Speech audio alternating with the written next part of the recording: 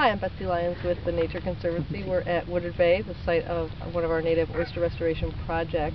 Um, and this is the area where you can see we're just starting to pick up um, a lot of the Pacific oyster shell that we put down as substrate. Like this, yeah, this is kind of, it's kind of hard to tell. This is sort of borderline like what uh, uh, native Olympia oyster would look like. It's much flatter than the big Pacific shell. Huh.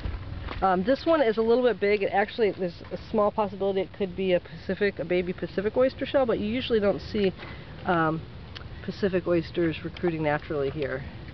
But the um, Olympia oyster is flatter, kind of, I'd say usually a little bit rounder, a little uh, thinner in terms of uh, profile. Um, so this year we wouldn't expect to find a lot of na native oyster larvae yet because this was put out last year, probably past the peak um, oyster spawning period. But one of the things we're looking at in, in our monitoring efforts are um, sort of the stability of the shell in the water and the condition of the shell. So what is, is it sinking into the mud, what's growing on it?